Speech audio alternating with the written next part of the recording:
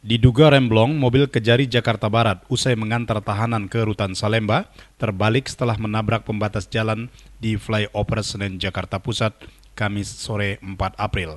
Akibatnya, seorang anggota polisi yang mengawal 21 tahanan itu mengalami patah kaki. Bribtu Beno Setiono, 32 tahun, dari Kesatuan Sabara Polres Metro Jakarta Barat yang ikut mengawal tahanan usai sidang di PN Jakarta Barat, mengalami luka patah kaki dan dilarikan petugas ke RSPAD Gatot Subroto. Sementara sopir mobil tahanan, M. Arif, 42 tahun, hanya luka lecet dan telah dimintai keterangan di kantor polisi. Kasat Lantas Polres Jakarta Pusat AKBP Slamet Widodo SH mengatakan, kejadian tersebut terjadi di saat Jakarta diguyur hujan deras, usai sejumlah tahanan menjalani sidang di Pengadilan Negeri Jakarta Barat. Awalnya mobil ini masih dalam kondisi stabil, namun ketika kendaraan menaiki jalan layang, mendadak ada mobil di depannya hingga membuat pengemudi mobil grogi dan langsung menginjak rem namun kendaraan tetap berjalan.